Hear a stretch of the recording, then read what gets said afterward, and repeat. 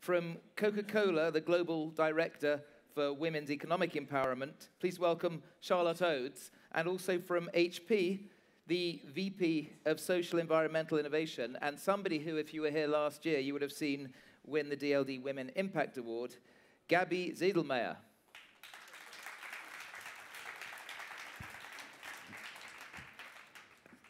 And I'm going to start with um, what Coca Cola's doing, Charlotte. Now, there's a big initiative that's a 10 year initiative called 5 by 20. Why don't you tell us what the plan is and where it's got to? With pleasure. Thank you very much for inviting me here to DLD. 5 by 20 is uh, a global, our global initiative to enable the economic empowerment of 5 million women entrepreneurs. We talk about it being across our global value chain by 2020. And what we mean by that is that it's businesses that are either already owned or maybe it's small businesses that women want to set up that are not formed yet that somehow touch our business. These are businesses that are outside the four walls of our company, but they somehow touch it. They might be farmers that you heard Kate talk about. They might be suppliers. They might be small shopkeepers in little neighborhood stores. They might be artisans that are making things from recycled packaging. All of them have one thing in common. They face barriers to business success. And what 5 by 20 seeks to do is address those. And the work that we've done says there are really three core areas of focus that are very common that these women face, which is lack of access to business building skills, lack of access to finance or assets, and lack of access to, to peer networks or mentors. And one woman may have need all of those things, or she may just need one of those. And what we do is we obviously don't work on our own. We work with partners. We work with the local communities to really understand the cultural challenges and social barriers that these women face to getting those skills. We work with NGOs, we work with governments, we work with partner like, partners like the Bill and Melinda Gates Foundation. We work with UN Women as one of our global partners. And we work with TechnoServe and International Finance Corporation, for example. And what we do is we put in place programs that are really as relevant, as impactful as we can make them collectively by bringing our skills collectively together to do that. We started two years ago um, in four countries, which was Brazil, India, South Africa, and the Philippines. And we're now already in 12 countries, and we have so far on our journey enabled 300,000 women. We still have a long way to go to get to the 5 million, but our aim is to create a really sustainable legacy that will endure. And this isn't about uh, I would say, sort of checkbook philanthropy. It's not ad hoc. This is about really making sure that we can provide enabling programs that will build those capabilities and capacities for the long term so we can really make a difference. So, Charlotte, we'll talk in a minute about some of the specific challenges and some of the lessons you've learned. Um, but I want to bring in Gabby from HP. It's a country, it's a 170 country business. You've got 330,000 employees. Where do you see HP able most to make a difference?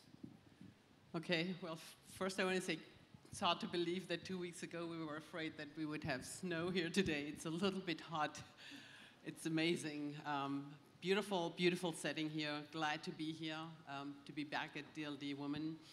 Um, HP is uh, a technology company, and we think we need to bring the stuff that we do to solve some of the social and environmental problems. Other companies bring, like Coca-Cola, can bring very different skills and knowledge and characteristics to the play. So for us, it's to really build out showcases in the area of mobility and security, uh, cloud, very important, and also big data. So what we do in general is we work very closely with nonprofit organizations and the government because if you don't do that, you can't scale and you can't really develop the programs. One of our recent prog- programs um, was launched in India, and what we did is we equipped basically shipping containers. So just imagine two shipping containers that you can fly in anywhere. You can bring them via helicopter or ship or train. And you put medical equipment in it. And you make a health clinic out of that. So in India, in a country where 800 million people do not have access to basic health care, you put such a clinic in the middle of nowhere, somewhere you know, where you have a number of villages. You then connect all of these devices with the cloud. So first of all, people that never had access can be treated. But also, the government understands also what the biggest issues are. There were some real big surprises for the government already where they need to really take action and prioritize. And we've talked to, to like one woman that said, I've had arthritis all my life. It was just the biggest pain. You know, you, you wake up in the morning with pain and you go to bed with pain. And based on the fact that she was diagnosed because the health center connects to doctors in cities, so they don't have to travel 3,000 miles. They do remote diagnostics, and then the health worker treats the patients on location. So that, together with the education centers, which we also put into these type of containers, and we deployed right next to the health center. And here you have thin clients, again connected to the cloud, that enable these kids to get access to all of these massive open online content that's available out there. All of a sudden, you have education and health for these kids that you've never had before, and it's really game changing. And Gabby, you're, you're working, you know, on education, on environment, on health. You're working with hospitals and on instant infant HIV Yep. projects. Difficulty is, I guess, in a big corporation, how you get the boss behind it, because without the boss behind it, it must be hard to have integrity in the campaign. So I think for me, uh, it's, it's what I really liked about HP and what I really think is really important that this is part of your DNA. And our founders, Bill Hewlett and Dave Packard, said 75 years ago that companies need to exist beyond developing shareholder wealth, that they need to create a value for society. That's very, very important. But of course, you need to live that throughout the years. They, they said that 75 years ago. What, the, the reasons why we engage are manifold. First of all, to create the type of social impact that we've just discussed, but at the same time, we build reputation, and we see that in all of the studies how well customers, uh, you know, customers actually expect you to really show up in these places. We also really help develop new products. You mentioned the early infant diagnosis. That's a project that we started in Kenya. And what we did together with the Clinton Health Access Initiative is we went into Kenya and we said, where can technology make a difference? And we realized that when babies are born, their blood gets taken and gets really checked for HIV. It took up to half a year for the blood to be returned to the mother and the child, which is about five months too late.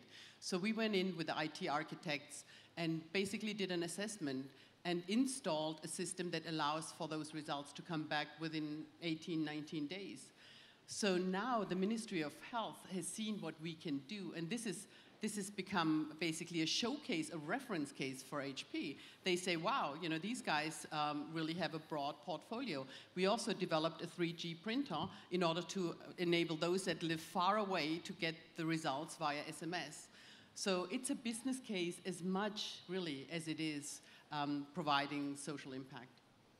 So both of you are trying to find a metric for measuring the success. I know Charlotte, you know, you've got these stats that you collect that in Nigeria, 200,000 retailers have been trained. In um, India, a certain number of solar coolers, the eKOCOOL coolers, have been put out to the field. But how do you, day by day, judge how well things are going? Is it simply by 2020, if you haven't got the 5 million, you failed? No, I think it's it's much broader than that. So I think what having a, a, really ambitious goal like 5 million does is it really focuses you on making sure that you are really pushing to make sure that you've got everything possible happening. But we look at it in, in, in three ways. We look at one, making sure that we have really transparent metrics of our progress. So actions of our progress are literally how many women have we you know, have participated in training programs, have had and received access to loans, etc. So we track that. And we only track the woman. We don't count every single enabling activity she receives because we are counting enabled women towards that 5 million. So we don't triple count her, as it were. Um, we thought the most important thing, though, is to then look at what's the long term impact. And obviously, depending on the kind of business she's in or the kinds of um, enabling activities she's received, um, that can vary. Obviously, uh, you know, Alice, who I met in, in, um, in, in Kenya, who has a mango farm, who's learning how to grow mangoes and is now chairwoman of her, her local group, cooperative group. We obviously it took her longer to be able to grow profitable mangoes that then we helped get the right market price for and are now taking into juices that we've just launched in Kenya. That's different from the ripple effect that might happen to um, a wonderful woman I met in, in Brazil. So, Regina, I just came back from Brazil. I spent some time in Rio and in the Amazon. And, you know, Regina is this warm hearted, you couldn't meet somebody who was more warm hearted, but she lives in a favela in the middle of Rio, which is a very difficult environment. She lost her son. She had no skills to actually set up a business. And she started literally just collecting litter off the streets. And she started to recycle because she, her driving force was trying to clean up her community. We worked with her to provide business skills, help give access to designers, to help make this litter into beautiful items. This is just one of the bags that she now sells. We now have teams of artisans that have been enabled through the program. And Regina now employs 10 people. 700 families in the community are supported by the program. And she now has been able to buy a house. The house is actually just outside the favela, but she still goes into the favela every single day because she says that's where her soul lives. And this necklace I'm wearing is another example of just recycled packaging that was, is now being made in the Amazon. So there's just, you know, the whole ripple effect is what you need to measure. And so we have put long term tracking in place um, to measure the impact, not just for the woman, but the extraordinary impact that she then has, not only on the investment back in her family as education, but into what happens then with that community. Because unless you have a thriving community, you will never have a thriving business so for her or for the community. These are all very inspiring stories, but I'm going to play the hard nosed journalist for a minute here. You both represent publicly listed companies that are there to boost shareholder value. Isn't this really just part of the PR story for the company? Answer that. Absolutely not. Um, I think, yeah, as, as has already referenced for HP, I mean, when I, for the Coca Cola company, and I have been with the company a long time, it's in our DNA that you, you absolutely know that whilst we may be well known for our global brands, we are absolutely a local business. We live and work and we produce all of the beverages in the local environment. We source locally, we hire locally. So, unless you have a thriving local community, you absolutely cannot have a business that thrives. And to empower women and invest in women who are pillars of the local community and are also, in many instances, pillars of our business, then you know that that's going to work. So, for me, it is absolutely part of our DNA that we do this. And I don't think there's anyone that you would talk to within our own company that wouldn't understand that and believe that too. So, Gabby, you're talking about e health centers, mobile health centers in India. You're talking about e learning through e books. I mean, that's promoting what HP does, that's boosting the bottom line. It certainly does. But, you know, just coming back to the other question, I don't think we have a choice. I really don't think we have a choice but to, to really understand that we have to embed what we call sustainability and call it whatever you want, you know, looking after people, looking after the planet, looking after these resources because they're not endless and they're not going to be around. And we know with so many of the resources that if we continue the way we do, we, we act right now, you know, we, we're not going to have any of these discussions. We're not going to actually meet in this type of an environment.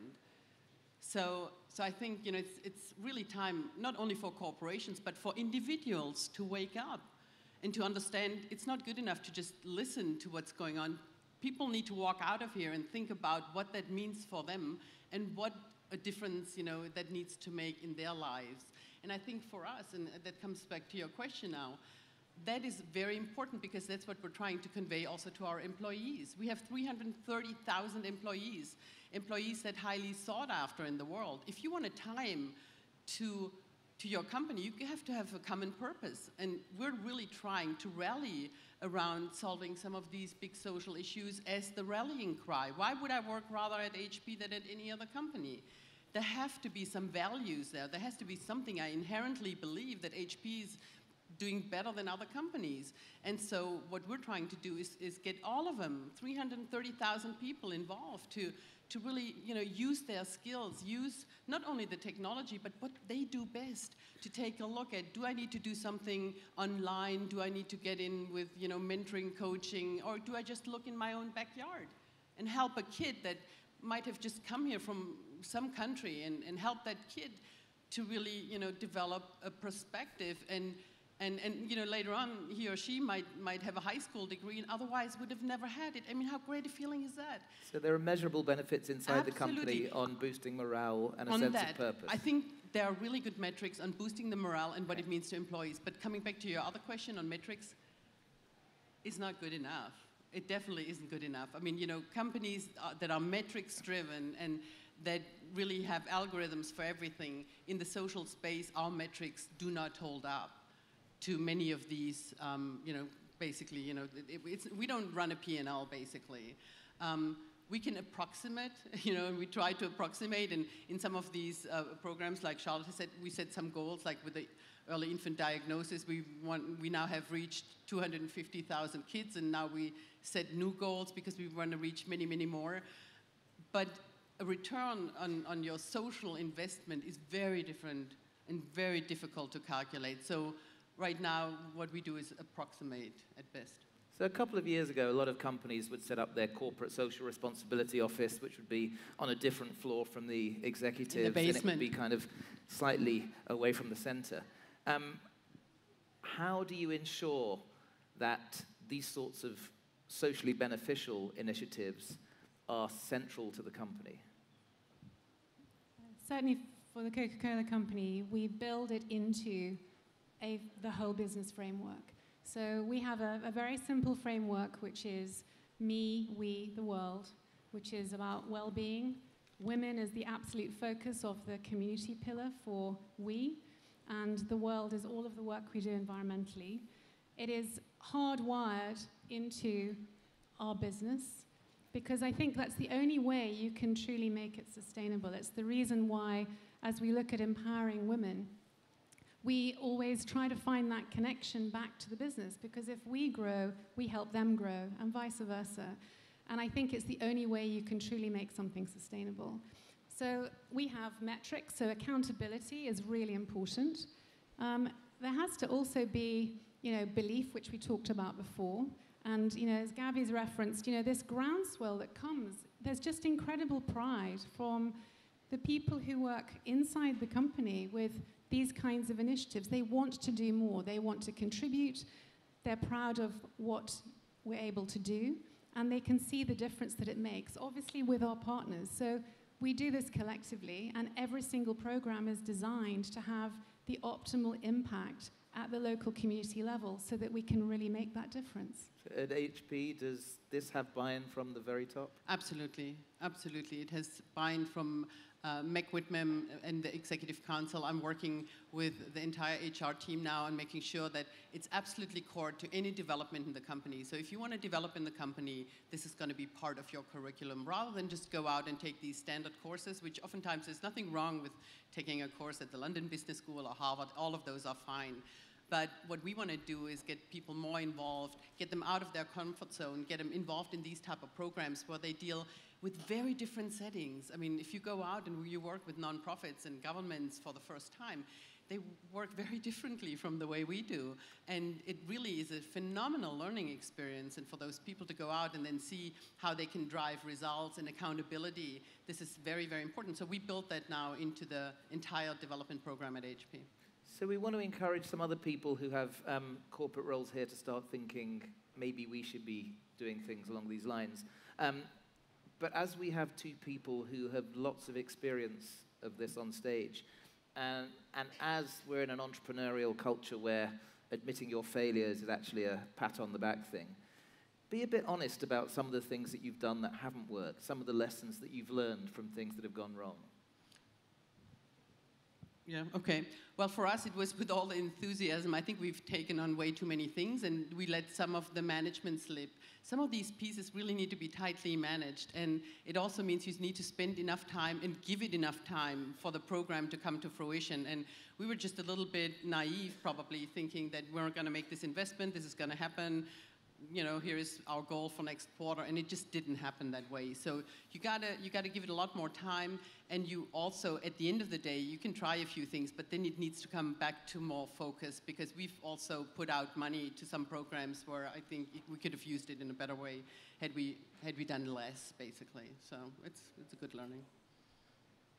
I think um, you know the, the whole genesis for the five by twenty initiative was you know, when our chairman and CEO invited, you know, a, a, a 16 women from around the world to form the Women's Leadership Council to advise the business and the operating committee on how to develop women into more senior leadership roles and really develop the pipeline.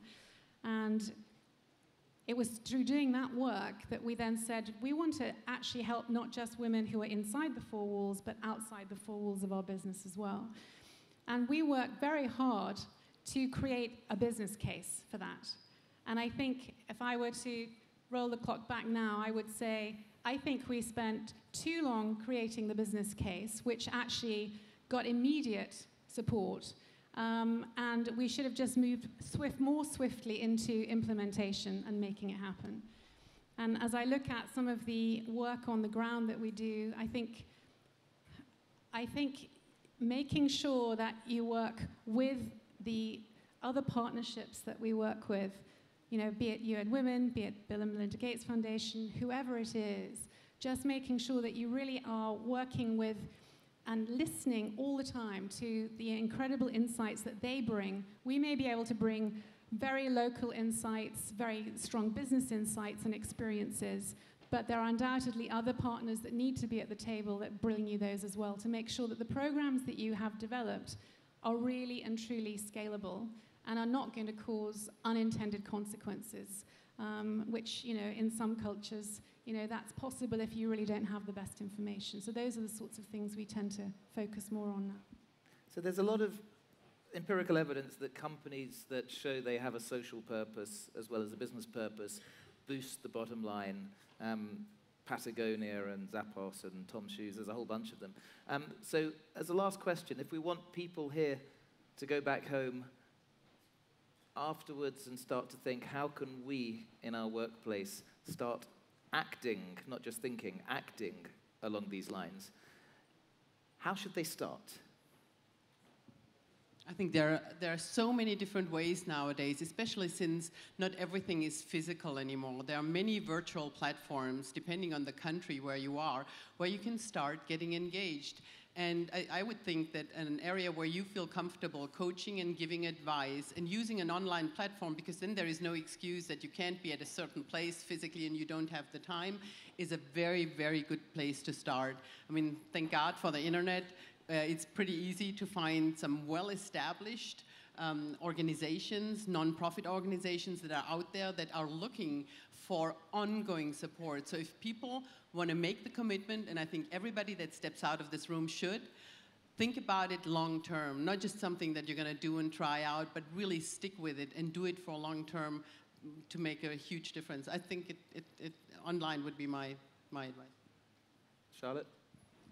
I think um, if I, in terms of the economic empowerment of women and just empowering women, I think always start inside the organization first.